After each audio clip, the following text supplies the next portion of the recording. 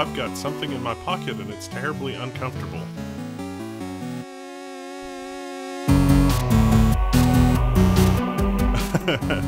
so we're taking a look at the ASRock Z170 Extreme 7 Plus.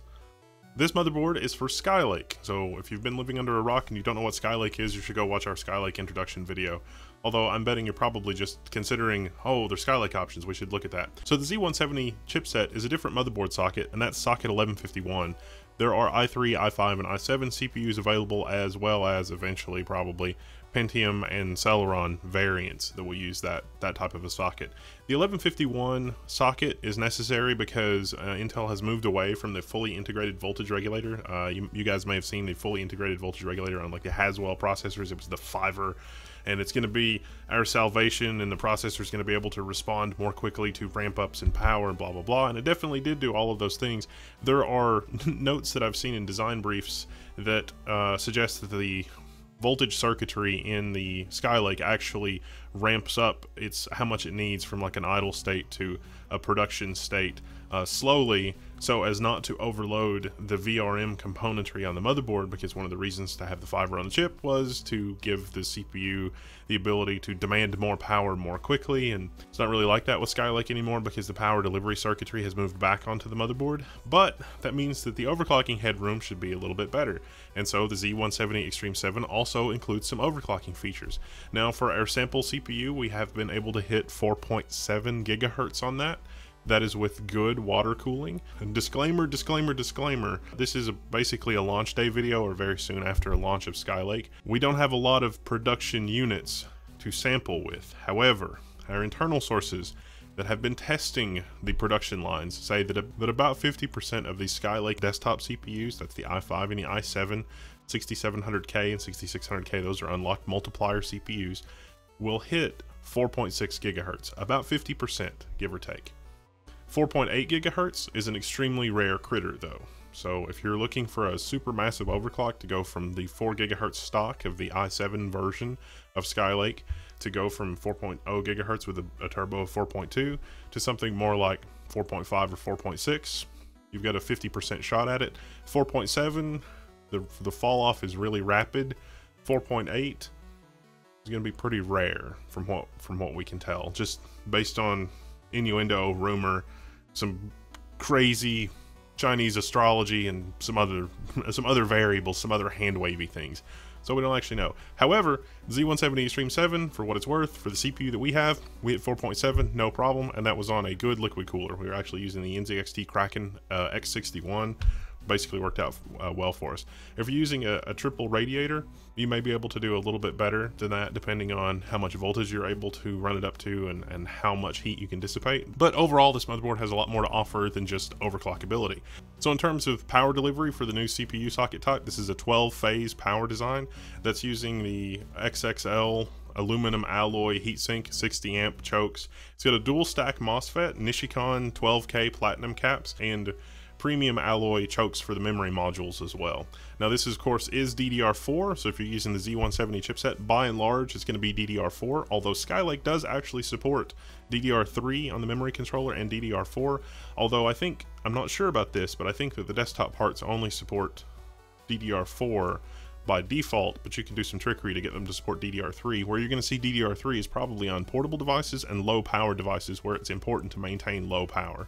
For this particular board, you've got four DDR4 DIMM slots, and I'm happy to report that using our G.Skill overclocking memory, we hit 3 gigahertz all day long. We should be able to hit about 3.4 gigahertz with this design, give or take, on the memory clock but this is not an overclocking video. We're probably going to do that in another video later.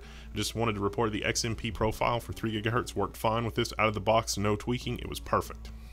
We've actually got four full-length PCI Express Gen 3 slots. Now, the first slot is a by 16 slot that can operate in by 16 or by 8.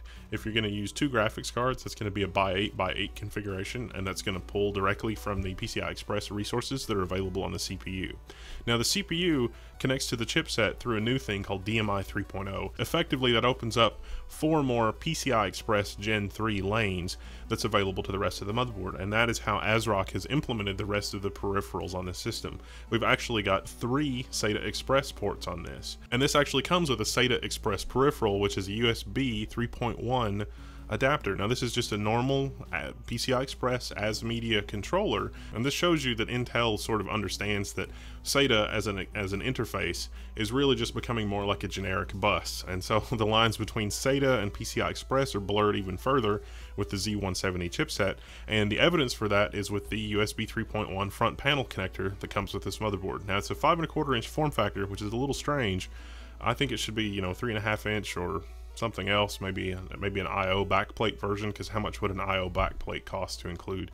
But it gives you two extra USB 3.1 10 gigabit per second ports USB 3.1 Type C, that's the reversible one, and the USB 3.1 Type A, and that's of course powered by an ASMedia chip. And if you look at the interface here, we can see that this is basically a PCI Express adapter, but on a card, and so it comes with a cable that'll go from your PCI Express connector to this front panel connector, and so you can use this on the front panel of your computer, which is perhaps a more convenient location. You know, in a lot of the cases that we've tested, the USB 3.0 ports on the front of the case maybe have trouble driving like the power hungry, you know, USB 3.0 flash drives or USB hard drives and that kind of thing. That will not be a problem with the USB 3.1 adapter from ASRock. It actually has separate power delivery circuitry. Not only does it uh, have the physical connector for the power supply, there's also another interface that connects directly to the motherboard with another header that's on the printed circuit board for that.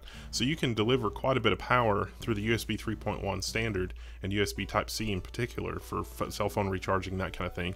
And ASRock provides that with the connectivity on this. This motherboard has three M.2 slots, which you can use with PCI Express M.2 SSDs, including the Intel 750 SSD, although you'd have to get an adapter board that will break it out to the U.2 or the mini SAS style connector on the on the M.2 slot because the Intel SSD is so fast that it won't fit in the M.2 form factor, so you sort of get a cable to go out from that to something else. Finally, with all the PCI Express and M.2 and SATA Express connectivity, the Intel Rapid Storage stuff supports RAID on the PCI Express side of things now. So if you're using a bunch of these peripherals, if you're using a bunch of M.2 drives, you can now RAID them together. So if you want something that's ludicrously fast and dangerous with your data, you can run RAID 0. You could get two M.2s, RAID 0 that, and then you're looking at, at on the order of, you know, four or five gigabytes per second with the absolute fastest M.2 SSDs that you can get, putting those in a RAID 0 just to get as much speed as you can.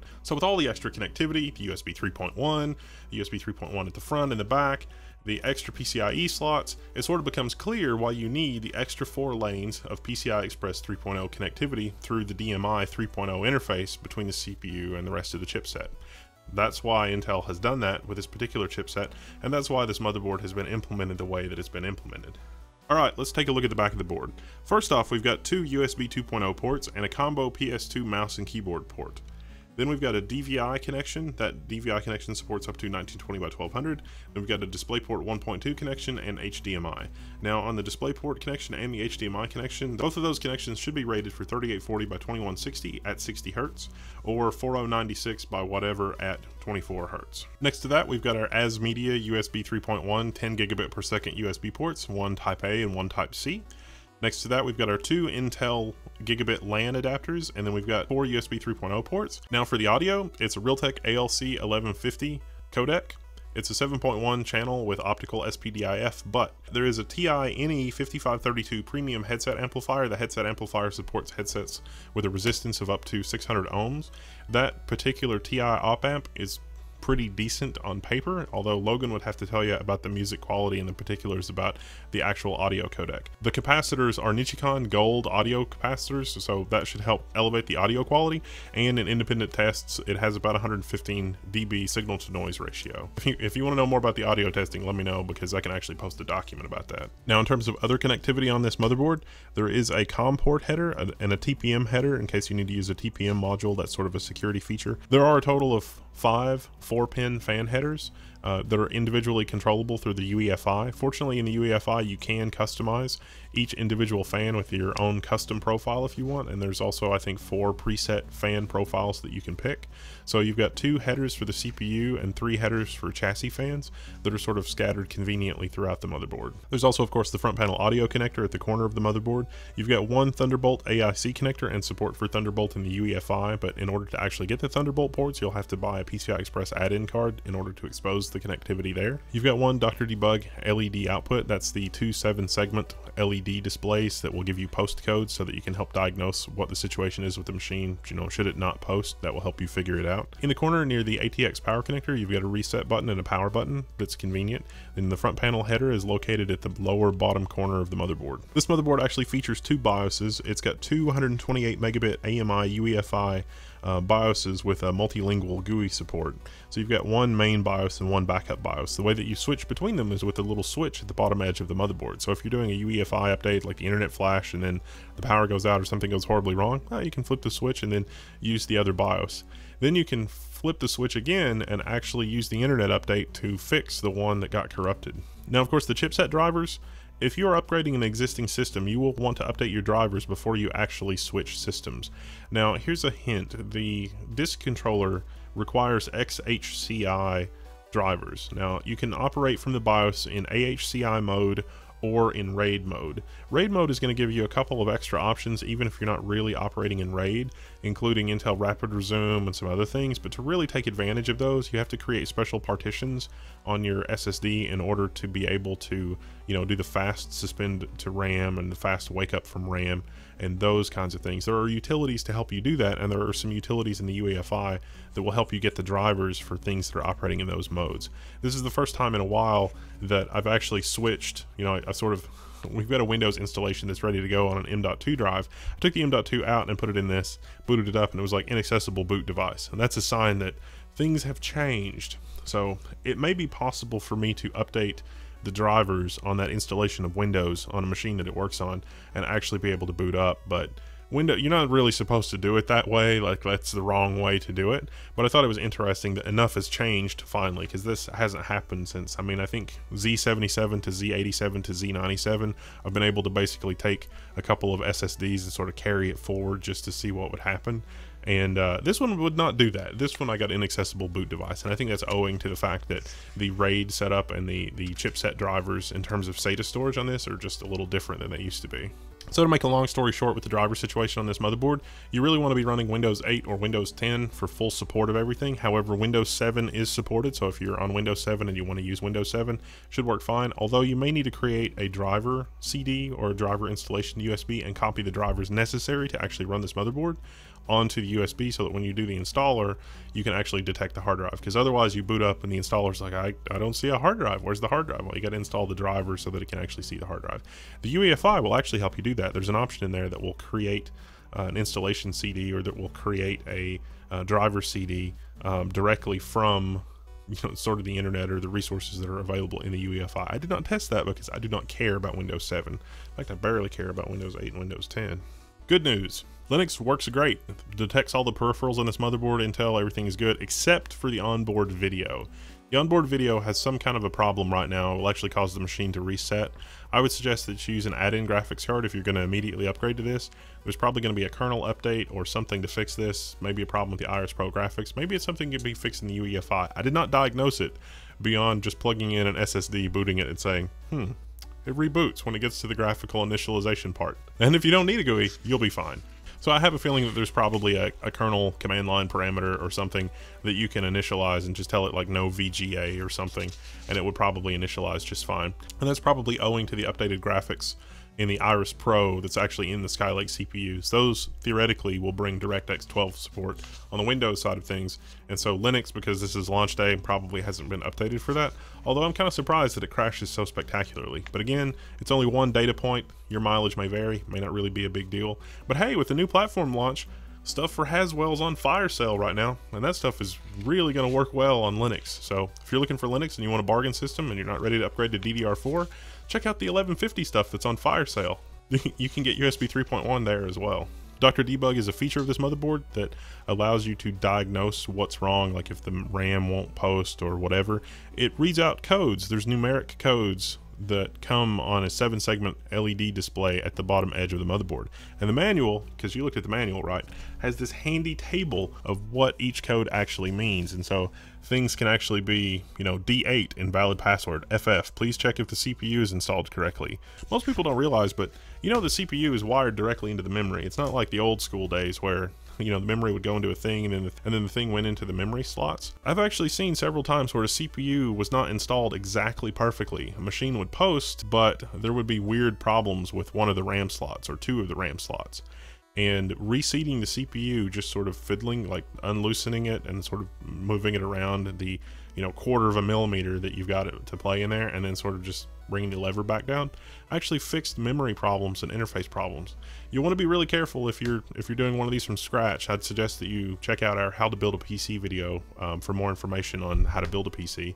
Not a lot's really changed, but the pins are actually in the CPU socket, and if you touch those, it's game over. If you bend those, it's game over. If you look at those funny and something weird happens, it's game over. It's not going to work. It's going to be really bad. So you don't want to touch the CPU. You don't want to touch the pins. You don't want to set the CPU like down on its corner in the pins because that's going to ruin everything. Really, honestly, installing the CPU is the most harrowing thing about installing, about building a computer. And if you're just really careful and you just sort of put it in exactly right, watch a bunch of our videos because we got lots of video of how to do it correctly, uh, you'll be fine. So keep that in mind. Now, our version of this motherboard does not actually have onboard wireless, but there is actually a half-size mini PCI Express slot that you could put in a combo Bluetooth and uh, you know 802.11 AC wireless if you want, and then there's breakouts on the back so that you could actually put wires there. You can also get a version of this motherboard that has built-in wireless if you need to locate it somewhere that it actually has wireless. I like the fact that this has several M.2 slots because actually a lot of the newer, cooler wireless adapters that have Bluetooth and near field communication and some of the other, you know, really high end features are available as mini PCI Express. And so the mini PCI Express will actually go into the M.2 slots. And because these M.2 slots are wired into the PCI Express bus, it'll work fine. You might not use the mini PCI Express slot, but you've got both options on this motherboard. Now it is only a half length slot for that, so you're not going to be able to put a cellular radio in or anything like that and actually have it screw in. But you know, you do have both form factors depending on what kind of a wireless card you want to get. Now, in terms of board layout and in terms of expansion slots, you've got four by 16 slots. Now, those will work in a by 16 configuration with just one slot, by 8 by 8 with two slots, or by 8 by 4 by 4, or by 8 by 4 by 4 by 1. And then you've got two PCI Express by one slots that are also available for expansion.